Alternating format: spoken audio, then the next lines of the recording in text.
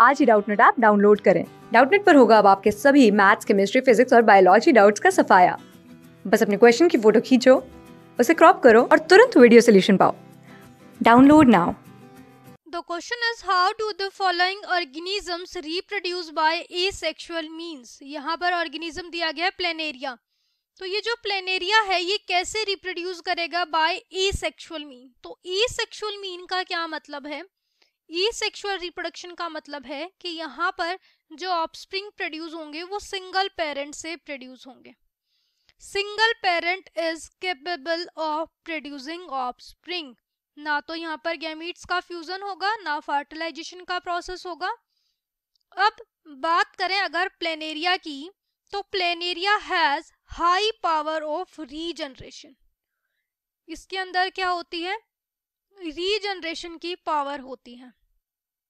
It reproduce sexually ये sexually reproduce करेगा in which it loses it loses a part of its body जहाँ पर अगर ये अपनी बॉडी के पार्ट को लूज कर देता है तो ये जो लॉस्ट बॉडी पार्ट होगा, ये दोबारा से क्या हो जाएगा? ग्रो हो जाएगा न्यू इंडिविजुअल के अंदर okay which it loses a part of its body generally tell हम यहाँ पर लेंगे तो ये जो लॉस्ट बॉडी पार्ट है, जो इसकी बॉडी से डिटैच हो गया है, ये नया इंडिविजुअल बना देगा। ये ग्रो हो जाएगा न्यू इंडिविजुअल के अंदर तो इसके अंदर पावर होती है रीजनरेशन की।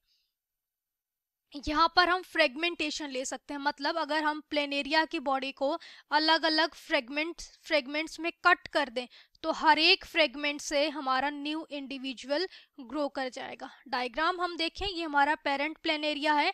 ये हमने फ्रेगमेंट्स के अंदर तोड़ दिया है कट कर दिया है इसकी बॉडी को और हर एक फ्रेगमेंट से न्यू इंडिविजुअल या डॉटर प्लेनेरिया हमारे ग्रो कर गए हैं। ओके तो ये कैसे रिप्रोड्यूस करता है? फ्रेगमेंटेशन के द्वारा। क्लास सिक्स से ट्वेल्थ से लेके NEET I I T JEE Mains और एडवांस के लेवल तक। दस मिलियन से ज़्यादा स्टूडेंट्स का भरोसा।